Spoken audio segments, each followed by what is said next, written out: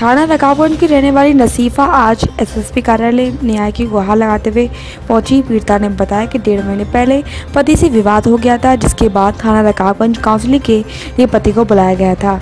पति ने थाने के गेट पर ही तीन तलाक बोलकर मामला खत्म करना चाहा। पीड़िता ने बताया कि उसके पति के किसी और महिला के साथ अवैध संबंध चल रहे थे। बार बार इस बात का विरोध करती थी।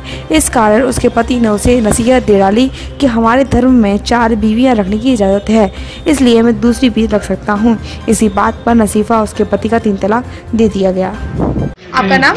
नफीसा नाम है। नफीसा जी कहाँ रहते हो आप? मैं अब तो मायके में रह रही हूँ दंदौली तो क्या हाँ। मैटर हो गया एसएसपी कार्यालय आई मतलब कल तारीख थी मेरी सोलह तारीख तो तारीख तो हो गई गेट से बाहर निकल के नहीं मतलब तीन तलाक बोल के नहीं गया है। आपका पति? हाँ। नाम क्या हुआ पति का? इसराज। इसराज। हम्म। तो इसराज आपको तीन तलाक दिया कब से आपका विवाद चल रहा था इसराज से? अब जी तो मुझे पता नहीं है कब से मारपीट क्यों करी थी आपके साथ? मतलब मारपीट मुझे डेढ़ महीना हुआ है मायके में रह के नहीं है। आपके बच्चे कितने हाँ हैं? बच्चे चार हैं। चार बच्चे हैं। पति क्या। करता है आपका? पति जूता का काम कर रहा है मेरा। आप क्या न्याय न्याय चाहती हो आप? मैं जी चाहती हूँ कि मैं उसी घर में पहुँच जाऊँ। इसी घर में पहुँच जाए हाँ। बच्चे कहाँ हैं? आपके पास या पति मेरे पास? नहीं है बच्चे छुड़ा लिए हैं मुझसे। चारों बच्चे? हाँ उसी के पास है। तो शुरू से ही मतलब काफ़ी समय से परेशान कर थे। नहीं मुझे तीन साल हो गए झेलते झेलते मैंने अब सुधरे अब सुधरे तो वो सुधर रहा नहीं था। फिर हार के नहीं है मेरे सिर से ऊँची हो गई मारने कूटने लगा तो फिर मैंने आने के लिए जे एफ़ आई आर करी हुई। ठीक है। जी आपका परिचय? मेरा नाम एस पी गोस्वामी एडवोकेट है।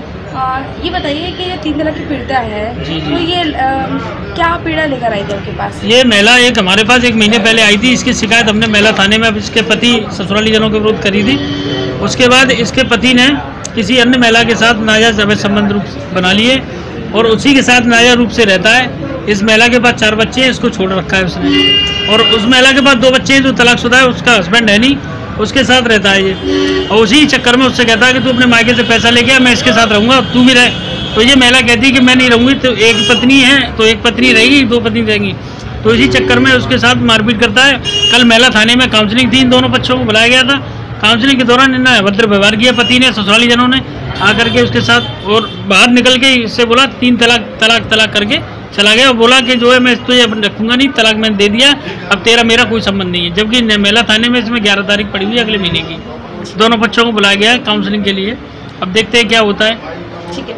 थैंक यू लेटेस्ट खबरों से जुड़े रहने के लिए देखें हमारा यूट्यूब चैनल करें लाइक शेयर सब्सक्राइब